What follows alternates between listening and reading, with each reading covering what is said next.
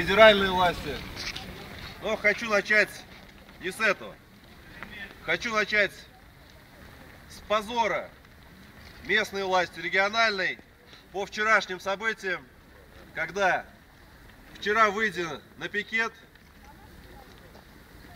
показать волю трудового народа, членам правительства Российской Федерации, которые приехали вчера к нам в гости, нас вероломно, как врагов народа, предателей скрутили, запинали, затащили в автобус, ну, передвижной пост милиции, пытались сфабриковать административные и уголовные дела, ну и чего у них с этим не вышло.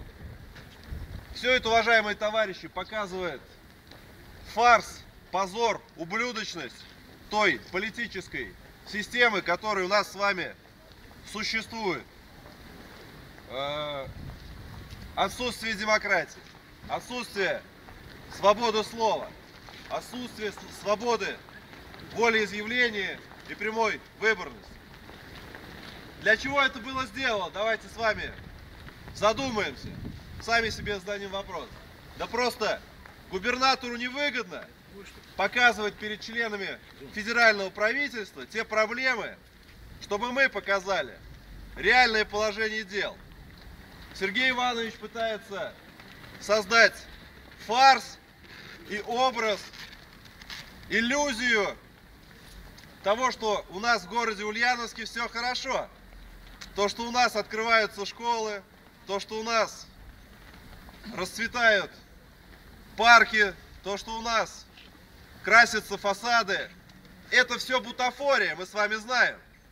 Нужно снять весь этот занавес, и за этим занавесом мы увидим, что в прошлом году были закрыты 18 школ по области, только одну, две из них мы смогли отстоять с вами. Закрыты профтехучилища. То, что недостаточно средств в бюджете на заработные платы учителей, зато хватает средств на проведение саммитов, на проведение фейерверков, торжеств, праздников и так далее. Губернатор не хочет признавать то, что регион находится в тяжелейшем положении. Даже президент Медведев Дмитрий Анатольевич на своем выступлении на съезде Единой России признал, что страна находится в разрухе, то, что в аппарате, в правительстве коррупция. Правда, он не признал то, что ничего с этим он, как президент, за это время сделать не мог, не смог.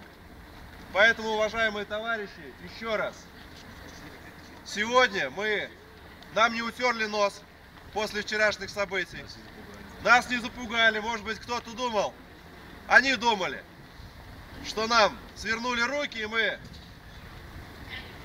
как щенята, забьемся в свои конуры. Неправда. Не дадим развалить нашу страну.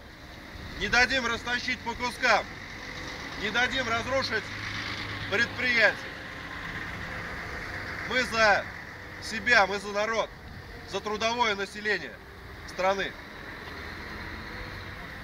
Следующее слово представляю Смехнову Борису Сергеевичу.